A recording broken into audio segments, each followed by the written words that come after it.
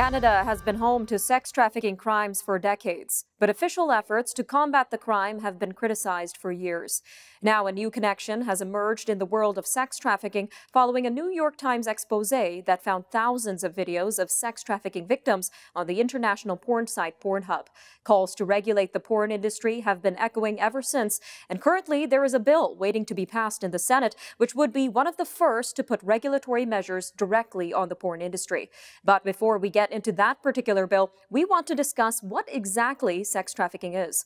Joining us now is Ms. Katarina McLeod, founder of Rising Angels. Ms. McLeod is also a survivor of sex trafficking and advocate for other victims and survivors. Welcome to this Forum Daily special report, Ms. McLeod, and thank you so much for sharing your story with us. Thank you for having me. Now, in addition to being a sex trafficking survivor yourself, ma'am, at Rising Angels, you work directly with survivors of this crime. So, can you tell our viewers what exactly sex trafficking is and who the victims of this crime usually are? Okay, so, you know, a lot of people have the misconception that sex trafficking is just happening abroad, and it's happening here in our own backyard. So, this is um, happening to these women who are getting lured in by what we call the finesse pimp, who is portraying to, you know, love her. Um, he becomes, you know, her Romeo. He's going to save her. He's going to give her the life. And he manipulates her into this. And he ends up sex trafficking her and moving her, you know, all across Ontario from hotel to hotel, um, making herself herself for him. And uh, we did mention that you are a survivor of this crime yourself, ma'am. Uh, would you be able to share your story with us and tell us how you were taken into the world of sex trafficking?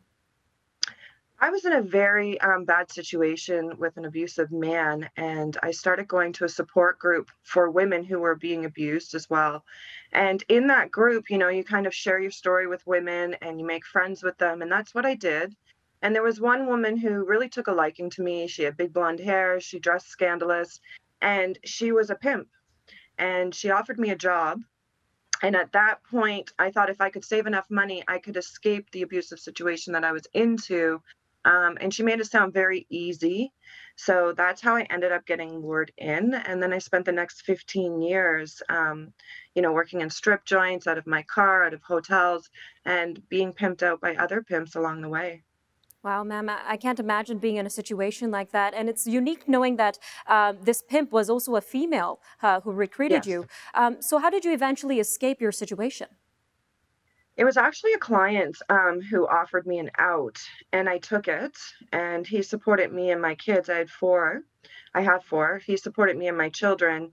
And then three years after, he left me. So I had become his private prostitute. He controlled all the money. But in my mind, it was better than servicing all different kinds of men. And it was actually my eldest daughter's um, youth group leaders who ended up coming alongside of me and helping me get on my feet financially, physically, emotionally. And they became my mentors. And that's how I ended up where I am today. So, what, what more do you think is needed in Canada in terms of supports and resources in order to prevent more young people from becoming victims of this crime, ma'am? I think education is key. We need to be getting into, you know, middle schools and educating those kids because they're vulnerable. I mean, the average age of somebody watching pornography is nine years old. So these kids are being exposed to this and desensitized from sex um, because everything is about sexuality out there right now. So, you know, for me, education is key. We need more places to be able to house these women who are coming out. We do see some second stage housing, but there's nothing at the first stage. And that's really what's needed um, for these women so that you can pull them out and they actually have a place to go and start the recovery healing. We need to have um, strong, stronger criminal, um, you know, what these guys are getting when they're being caught is is nothing. It's a slap on the wrist. It's six months. It's time served. It's this. And i think we need to change the narrative right? Like the police cannot do anything unless a victim is willing to come forward. And that's really hard to ask somebody to do um, when they've gone through this kind of trauma and then to re-traumatize them in court and then the conviction is not even worth it to these women. So there has to be another way that these officers can go after these pimps and traffickers without needing a victim. And uh, we know that sex trafficking survivors could be as young as 12, 13 years old. Uh, how can parents or supervisors identify if their child is being targeted by a sex trafficker, ma'am? About 30 seconds left. I think it's just, you know, being aware of who your kids are talking to online, having their passwords. There's a lot of, you know, different things that are happening online where parents aren't being aware of who their kids are talking to, who their friend um, list is, and knowing that and watching the signs. If you start seeing your child who is being really secretive, meeting somebody and not telling you who it is, um, they're picking them up down the street, you see their demeanor changing, they're coming home with money or gifts that they couldn't even afford. I mean, those are some red flags to watch out for. All right, we'll be right back with Ms. McLeod with more. Stay with us, everyone.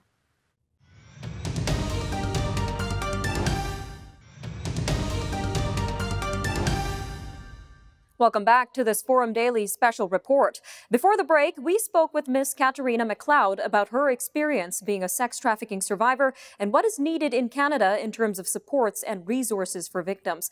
We also, we also mentioned Ms. McLeod's organization, Rising Angels. So, ma'am, uh, can you share with us the work you do at Rising Angels to help rehabilitate and provide support for survivors? Absolutely. So, we have one on one mentoring for these women and that's very important for these girls um, and women to be able to have somebody who's gone through this walk alongside of them. So we are like the 24 hours a day, you know, my our phone's available. So if these girls are having breakdowns or they're struggling, they can call it two, three, four, five in the morning. We too have trauma informed counseling and we help these girls financially get on their feet. So, you know, you know, if they need their groceries bought or, you know, help paying their bills, rent, whatever it is, these are the services that we offer them.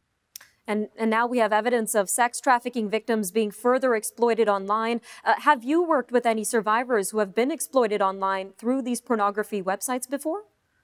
I have. I have. I have a few girls whose um, pimps had videotaped them um, when they were having sex and, you know, not only used it as blackmail, but ended up uploading it onto pornographic websites.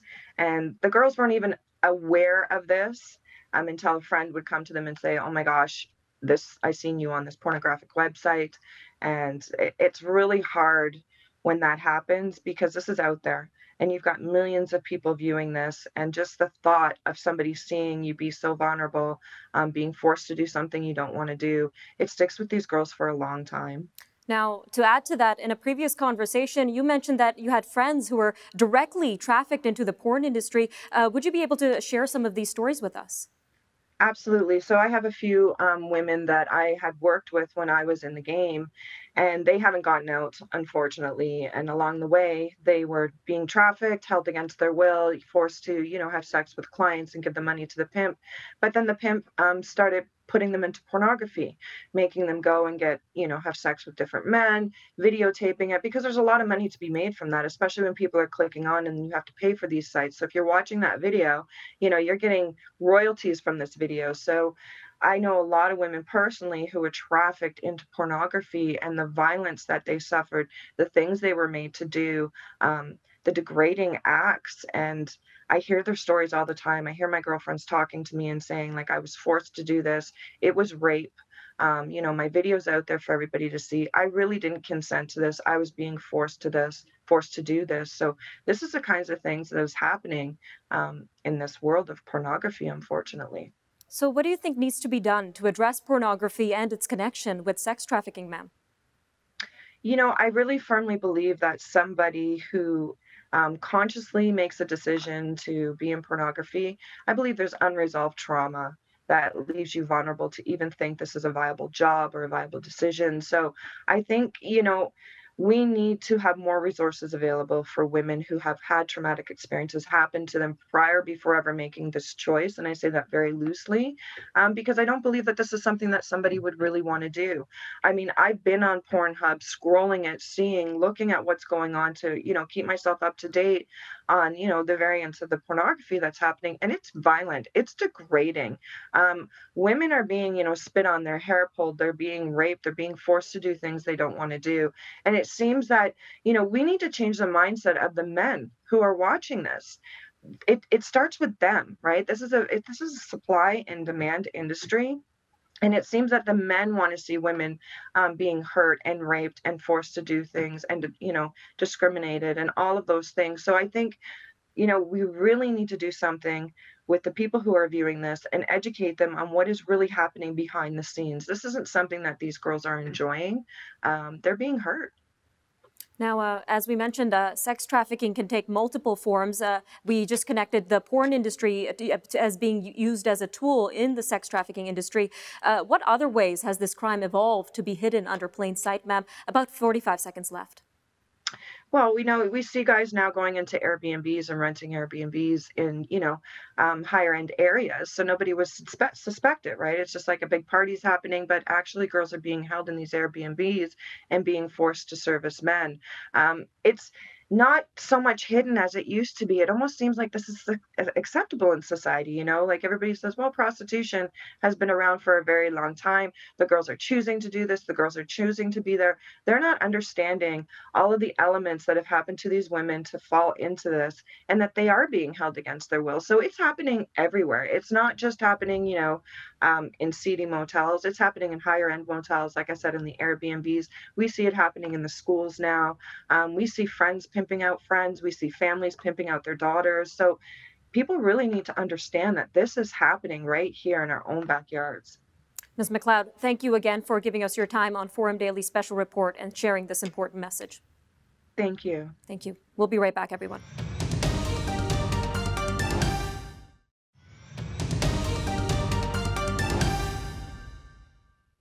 Earlier in this report, we mentioned a bill that is on standby in the Senate, which is looking to add some regulation in the porn industry.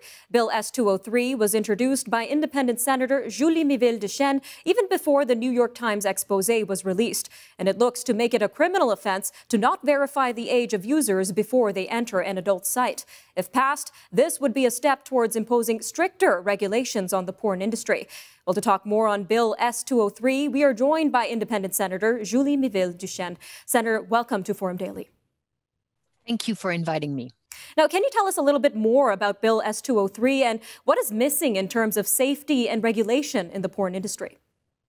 So a lot is missing, but uh, obviously, porn, as you know, has become more and more hardcore, violent, and degrading for women. So that's the, the base. But also, uh, porn sites do not verify at all the age of visitors. They don't because Canadian law doesn't require them to. So children, an average age of 11 years old, are first exposed to porn. Uh, so it's very young and very worrisome. And also, arms can be done. Uh, the way children and youth will look at women the as objects also uh, the problem with the twisted vision of sexuality more aggressive behavior arms can be done by this exposure to porn so um, as you know when you're offline all porn is regulated you can't buy a playboy if you don't show your card. You can't go to a porn film without showing an identity card. It's not the case on the web. So that's why I'm saying it should be the same same rules because we have a consensus in our society that porn is an industry for adults. And so my bill really want to protect children and teenager from exposure to porn to porn and to do that as you just said, we are making it a criminal offense to to distribute uh, sexually uh, sexually explicit material to children. So that would become a criminal offense if it's done for com- commercial purposes. And that's exactly what porn sites are doing. And second, uh, the minister will have um, a pretty uh, extensive power and they will be able, if companies uh, do not obey, to basically blocking access to porn sites in Canada. So it's an important law. It has teeth, and I really hope it's going to be adopted. Now, I really want to go back to the start, to the creation of this bill. Uh, we mentioned that you've been advocating even before the NYT expose. Uh, can you tell us a little bit more on how this all started? So, um, almost a year ago, I was demonstrating in front of um, MindGeek, which is the, the, the owners of Pornhub, right here in Montreal. This is not far from where I live. So, I started researching, and I was absolutely appalled by what I found, which is um, sexual exploitation on the site, and also the fact that the uh, business model of Pornhub was to upload videos without checking on the consent or on the age of participant to this porn. So for me, this was uh, not right, especially at a time of Me Too, where consent should be um, really um, um, at the middle of everything. And my background too uh, was important. I've been uh, the president of the Quebec Council on the Status of Women, so I have a feminist um, look at this uh, situation, a point of view, a feminist point of view. I've been studying prostitution, violence against women, uh, and pornography. All those uh, questions are linked. And for me, this bill too will have a feminist impact because those children should have um, um, um, should have a look at sexuality which is not unequal for women which shows that women are equal because it, this is not a bill to defend pornography porn is a legal industry. As a mother, as a feminist, obviously I have concern about what I see. I can't tell you I don't have concern, but this is not my aim. My aim at this point is to protect children and teens from this exposure to material that's pretty offensive sometimes. All right, ma'am, we've got to wrap up this segment, but we've got 30 seconds left. How has this bill uh, fared in the Senate? Do you have any opposition from MPs? Well, I have to say, I have a pretty large consensus in the Senate among all the groups that this is needed. So that's really a good point. Some questions uh, about how do you do this age verification without compromising uh, the privacy of personal data? That's a fair question. And we have answers for that because it's a third party that should do the verification. Also, some people are a little afraid of the freedom of expression and also of the fact that science is not absolutely certain on, on all the arms of porn. But I'm saying let's take the principle of precaution here for our kids. All right, we'll take a quick break, but we'll be right back with the senator. Stay tuned.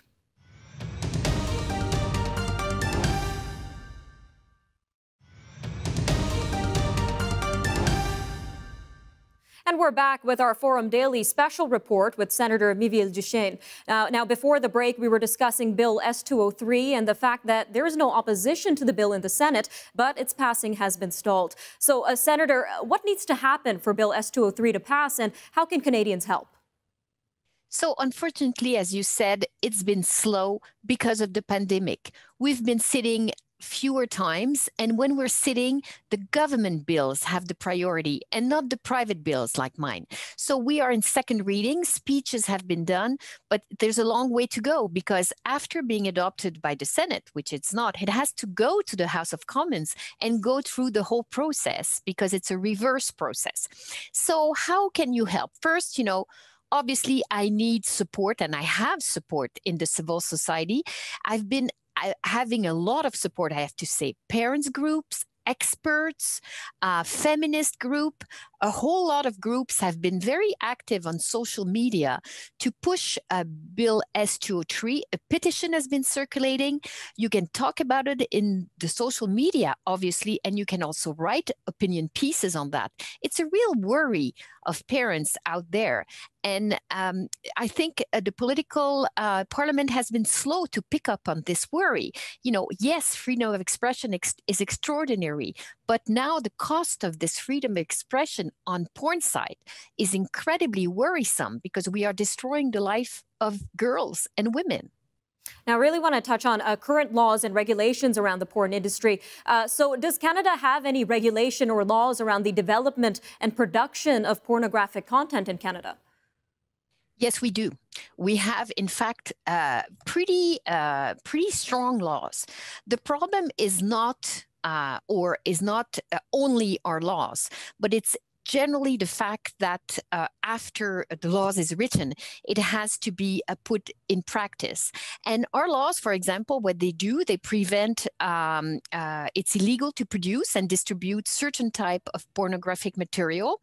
Uh, it prohibits material child pornography is is uh, is prohibited. Non-consensual distribution of intimate image is uh, is not permitted, and voyeurism. So you see, we have the tools But the problem is lack of enforcement of the law. And this is pretty worrisome because this has been going on for years, and group are saying, what's happening? How come there's no uh, lawsuit against big porn uh, on those issues? Well, yes, uh, it's true that it is difficult because um, there's a question of territory. Uh, porn sites are not all based in Canada. Uh, Pornhub is, but not all of them. So that's complicated. The question too of uh, who, uh, you know, you need a, um, a, a, complaint to act. So that's obviously also a problem. However, I have to say, I think we have to review our regulations because we heard the other day that Pornhub has never told the RCMP of a possible case of child pornography this doesn't make sense. So it's like it's impossible because cases have been public. So there are problems in our regulation. And because of that, there's an immunity uh, for porn sites that I don't think uh, should exist. Now, uh, touching on these regulations, we know that um, Heritage Minister Stephen Guilbeault, he's set to launch an online regulator and mandatory 24-hour takedown notice for illegal videos. So how would this impact uh, the production of sex trafficking-related pornographic uh, videos being posted online? Uh, again, uh, Senator, we've got a minute and 20 seconds left. So briefly, um, it's an, an, ambitious law, and it's welcome because at least there will be a 24-hour uh, delay to put down the material. We know that for some young women, it has been months of delay. So it's much better. It also ambitious because it's not only for porn sites, it's for all uh, the social platforms. So it could be Facebook, it could be other platforms where, yes, there is sexual exploitation.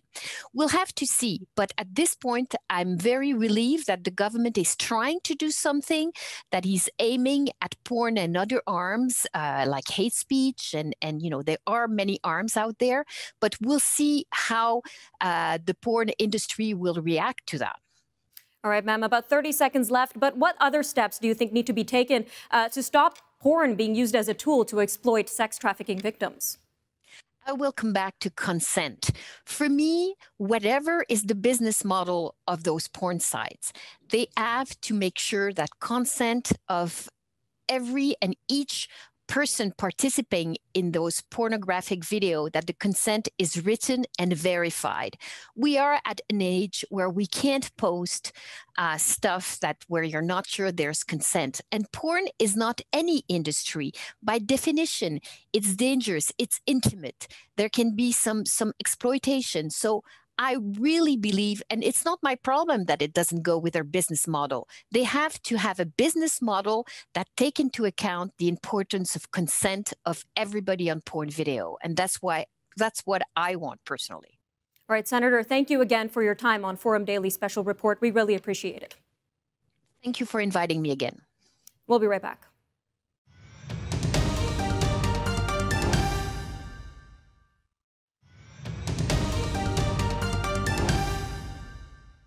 The lawsuits continue to pile up against international porn site Pornhub's parent company, MindGeek, as another allegation against the company's ethical practices emerges. This time, it's coming from a U.S. federal court in Alabama, where two young women claim that the website is facilitating child sex trafficking, adding that what parent company MindGeek said to Canadian legislators earlier in February is not enough. Montreal based MindGeeks executives told a Canadian parliamentary committee that the system was being completely overhauled on February 5th.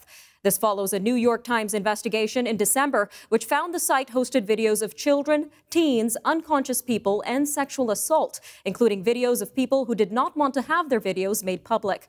This is the third lawsuit that has come to light against the porn giant in the last three months and comes after similar allegations from a legal action by 40 California women and another suit by an Ontario resident in Quebec. Well, joining us now to talk about the most recent lawsuit in Alabama is Mr. Gregory Zarzaur, trial attorney at the Zarzaur Law Firm in Alabama and lawyer representing this case. Sir, welcome to the show. Well, thank you for having me. Um, now, and thank you. Now, we know we can't get into uh, too much detail in regards to the two survivors in the suit, sir, but uh, can you tell us a little bit about this legal action and why it all started? Yes, uh, but again, let me say thank you to you and to the News Forum for its coverage. Thank you, sir. Of the litigation, of the litigation here in the United States. Uh, the case I am involved in was filed in federal court in Alabama. I have the honor of representing two survivors who have filed a lawsuit seeking remedies against MindGeek and certain affiliated companies for the harm uh, the survivors claim MindGeek caused them. In our lawsuit, we claim each of them were under the age of 18 when explicit videos of them were filmed and MindGeek then possessed, widely disseminated, and financially benefited from. We contend uh, that this is in violation of US federal law, including the US law that defines sex trafficking.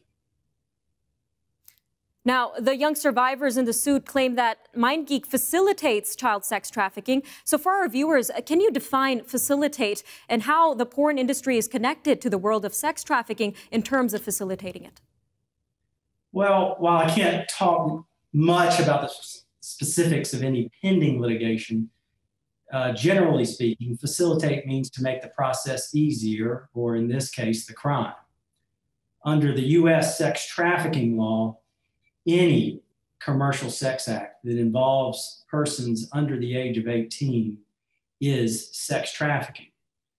Uh, for example, uh, some of your viewers may be familiar with a website that was shut down a few years ago called Backpage.com. Well, a subcommittee of the United States Senate conducted hearings about Backpage.com and ultimately released a report that concluded that Backpage.com knowingly facilitated sex trafficking in the way that it operated its website, despite the fact that it was known that sex traffickers were using the website to place ads for sex with children or other sex trafficking victims. Now, uh, this suit was filed uh, following testimony from MindGeek executives regarding an overhaul of their system. Uh, what were your clients and your team's reactions uh, to this testimony overall, sir? Well, I, I, think our reaction was likely similar to a lot of others. Uh, there are many questions that still need to be answered, uh, and we intend to seek answers to some of those in our lawsuit. However, you're correct. We did refer to some of the testimony in the lawsuit we filed, and we very much believe more must be done to prevent future harms to our clients and to other survivors. All right, Mr. Zarzaur, we're going to take a quick break, but we're going to come back and continue uh, to discuss this lawsuit. We'll hear some messages from our sponsors during the break, but stay tuned, everyone. We talk further uh, about Mr. Gregory Zarzaur's lawsuit and his experience working with victims of human trafficking and child sex abuse. That and more news coming up after the break, so stay tuned.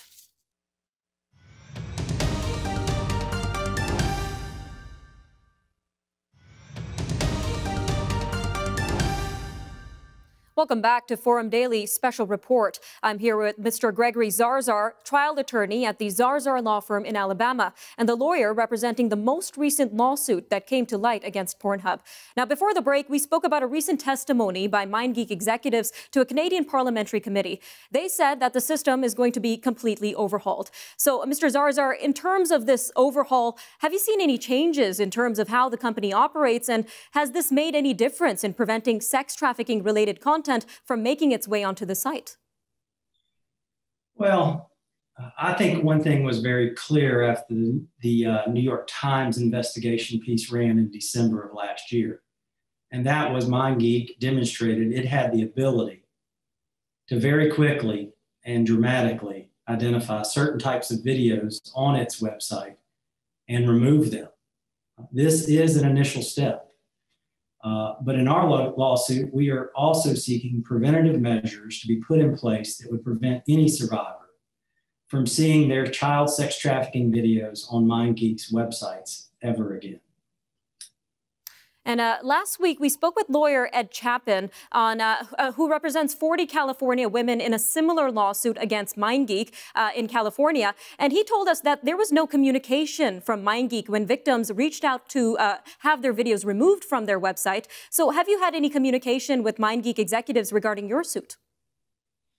Well, let me answer that this way. Under the U.S. court system, any defendant is and rightfully so, afforded an opportunity to formally respond to allegations in a complaint. At this time, we are in the process of completing the formal process that would trigger MindGeek's formal response in court. And I believe the formal court papers in any lawsuit uh, would be the best place to learn about this case and MindGeek's position on it once it is time for that response. All right, sir, we really want to get into your experience. We know that you're an advocate against human trafficking and child sex abuse. Can you tell us a little bit about your experience working with such victims and how they are personally impacted even after being removed from their difficult situations?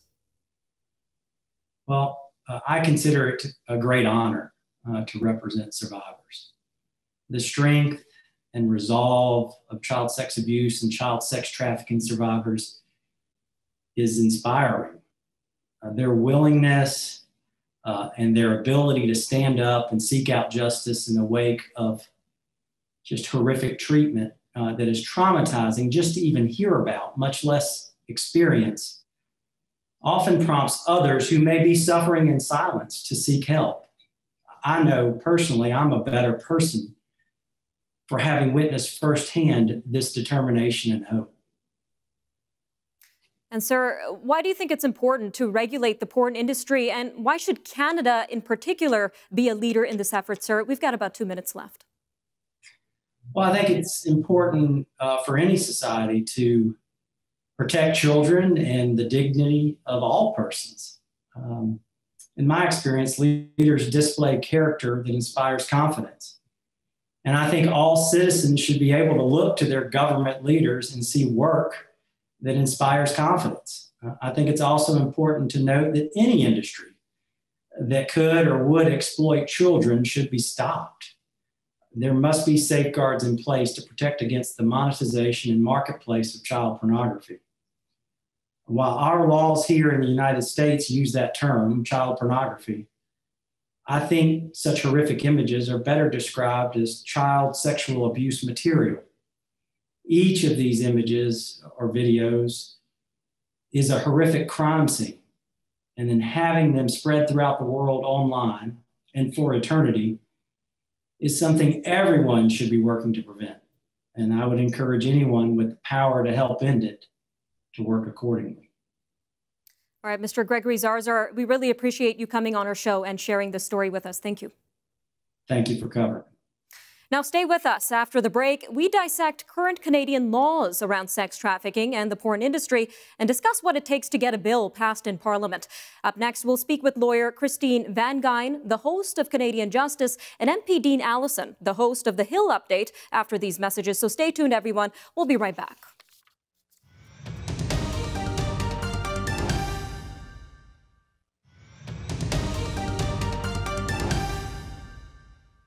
Following these interviews, it's clear that there is a disconnect between sex trafficking laws and regulations around the porn industry. Historically, the development of laws around human trafficking have always been on the slower side in terms of being implemented. In 2007, British Columbia formed the Office to Combat Trafficking in Persons, becoming the first province to address human trafficking formally. It wasn't until June 6, 2012, that the Government of Canada established the National Action Plan to Combat Human Trafficking. June 2012 also saw the creation of the Human Trafficking Task Force to replace the Interdepartmental Working Group on Trafficking in Persons, which was created in 1999 to develop public policy on human trafficking in Canada but was criticized for eight years by politicians and NGOs for failing to comply to a 2004 mandate to create a national plan. And now we have Bill S203, still at second reading in the Senate, but faces no opposition from MPs, stuck in limbo waiting to be passed. And to talk more on the situation, joining us now is lawyer Christine Van, Van Geyn, the host of Canadian Justice, and MP Dean Allison, the host of the Hill Update. Christine, Dean, welcome for, to the Forum Daily. Thank you for your time. Thank you. Thanks for having us. Now, Christine, uh, let's start with you. Um, what are the current regulations around this issue? Are there any legal implications for filming videos related to sex trafficking in Canada and posting them online? Yeah, so obviously it's a criminal offense to um, film it, film child sexual abuse. So um, what we sometimes call child pornography, although we shouldn't refer to it as that. It's not pornography. It's images of abuse. So it's a criminal offense to record sexual images of a person under 18. It's a, a, a criminal offense to transmit or sell those images. Um, it's also a criminal offense to distribute images of a person, intimate images, if that person didn't give their consent um, to the distribution of those images. So That would include images of an adult person being sexually abused. And uh, there was also concern around uh, revenge porn, Christine, uh, being posted online following the NYT expose. Uh, what are the legal repercussions of posting revenge porn in Canada? Yeah, I'm actually going to be filming an episode of Canadian Justice about this issue.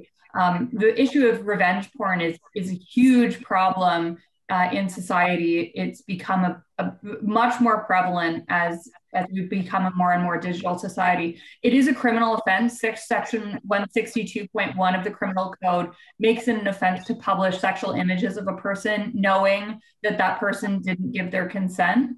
Um, so the the accused person would have to know that that person didn't give their consent or they would have to be reckless to that knowledge um, and the image would have had to been given in the context of an expectation of privacy. So it doesn't matter if the victim in that case participated in the creation of the images, uh, sharing those images when there was a reasonable expectation of privacy is a criminal offense. And there are also civil penalties in several provinces. And what about uh, porn websites, Christine? Uh, can they be held accountable for publishing these videos under current laws? Yeah, so in Canada, users who upload uh, criminal content uh, are jointly liable with the companies that distribute it. So that's different from the United States, where web platforms aren't responsible for user generated uh, user generated material. And in December in Toronto, the first conviction uh, happened uh, under this law. Um, it was a, a Toronto based platform called Yes Up Media, and they were the first company to be convicted of criminal charges that obligate uh, companies to report the online um, presence of sexual abuse imagery if they learn that their business is being used to access it. So, in that case, the Toronto based company had been warned hundreds of times that uh, one of their Vietnam based clients was hosting massive amounts of, ch- of child sexual abuse imagery. Um, but the law that law is 10 years old and it was just december that there was the first conviction and fine under under that law now, uh, we've got about a minute left. I want to jump to Dean. Uh, looking back at Canada's track record in passing uh, human rights or human trafficking related legislation, uh, why is it taking so long to get such human rights bills passed? Well, you know, I think it's uh, it's more than just that. It just takes a long time to pass legislation. Period. If you look at the the record of governments when we were in government, you know, because you talked about some of the things that were passed. We had a Bill C thirty six that was passed by Peter MacKay that dealt with some trafficking issues, and quite frankly, there's more, way more that needs to be done. During our time in government, we passed probably about 169 pieces of legislation in four years. The Trudeau government in four years passed about 100 in 11. So almost a third less, if you will, or 50% less. So obviously the amount of legislation you pass matters. Uh, we can talk about more about private members bills after the break, but I mean, just in, in terms of private members bills that were passed, 34 by the Harper government, 10 by the Trudeau government that actually made it from the time they were introduced until they were passed. And we can talk a bit more about the process when we come back. All right, we'll be right back, everyone. Stay tuned.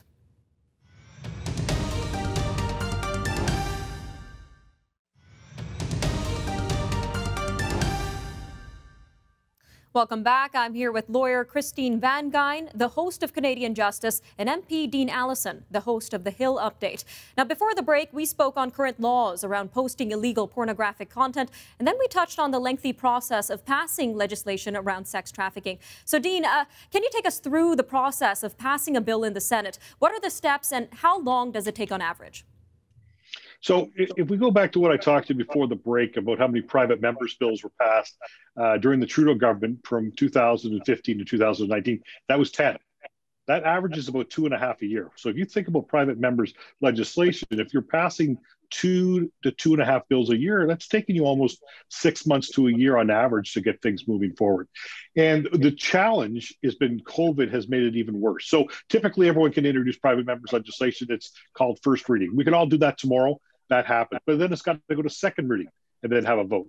It's then got to go to committee It's then got to go to uh, third vote. It's then got to be moved over to the House. The same process starts over again. So even if it's government legislation, it can take some time to pass. But if it doesn't have a priority attached to it, and I can assure you right now, so far, year to date, no no private members bills have been passed in the two years this government or almost two years this government's been sitting but remember we've been sitting under covid conditions and it's been anything but normal all right, Dean. So we have Bill S203 having no opposition by MPs. Uh, what is it going to take to get this legislation to pass? So I, I think, uh, quite frankly, of, one of the things that would make it easier to do would be if the government would take it up as legislation. I introduced private members legislation on excise tax for the wine industry back in 2004. The finance minister, when we took government in 2005, made it his first part of his first budget. So really what needs to happen to get this done quickly is to have the government of the day include incorporated in government legislation. Government legislation takes precedent over private members legislation all day long. And because the Senate has not been sitting because of hybrid sessions, because of in person sessions, translation, and the list goes on. The way that we could get this done quicker would be to have the government accept it as something they like, put it in one of the many bills that they have access to, and talk about it that way. And Dina, is there anything that Canadians themselves can do in order to push this bill through the entire legislative process faster? Well, I think absolutely. That's a great question. One of the things that, uh, you know, people need to do, constituents need to do, is talk to the members of parliament, right? Regardless of the party, everyone supports this legislation. The challenge is always there's so many things going on, so many moving parts. As I said, the Senate has not been sitting on regular sessions. I believe the Senate this year, and we're only into March, has only sat three or four times, maybe six times tops and they have not been passing a whole lot. They've been looked at C7, the government legislation, right now on uh, the MAID legislation. So I think that what you need to do is you need to talk to your local member of parliament. You need to uh, l- let them know, him or her know how important it is to you. And then I would encourage uh, your members of parliament to talk to their government members to say, is there a way that we can actually make this part of government legislation? It has been done before, and I don't see why it couldn't be done as well if there was political will. All right, we've got about two minutes left, but Christine, uh, what would be your message as the host of Canadian Justice, a show that fights for the honesty in its title, in terms of the importance of passing a bill such as this? Yeah, bills like this that protect victims and, and will end the victimization, especially of, of children and vulnerable people, are incredibly important. So um, we're going to be following up on, on some of the issues that you've looked into in your report. I've, I've learned a lot preparing to talk about this with you today. And um, I think that the more Canadians get educated about the importance of this issue and the prevalence of human trafficking, um, the more likely we are to see this bill being successfully passed either as private members legislation or having the, the majority gov- the, the minority government take it up as a government bill. And Dean, uh, as an MP and the host of the Hill Update, uh, what can the passage of this bill lead to in terms of further efforts to regulate the porn industry? We've got about a minute left. well, listen, I think there's a number of things you could do. If you look at red tape as an example, red tape, if you fix it once, is not fixed forever. It's something you need to be committed to forever. I would say absolutely, without a doubt, we need to do the same thing when it comes to trafficking, sex trafficking, and what's going on around the world. This is not a one and done scenario. As I mentioned, we passed Bill C 36, which was around prostitution, was also around sex trafficking it that went and took some measures. But as we learn more, and as criminals learn how to deal and work around it, there's always things that we could do a better job of. So I think what we need to do, there are task force in place, but they need to make sure that they are on an ongoing basis looking for the loopholes and things that you know get these people trapped and figure out a way and be on this uh, all the time. All right, Dean and Christine, thank you so much for joining us. And that'll conclude our in depth look at the connection between sex trafficking and the porn industry. I'm Nima Rajan, and we'll see you next time for another Forum Daily special report.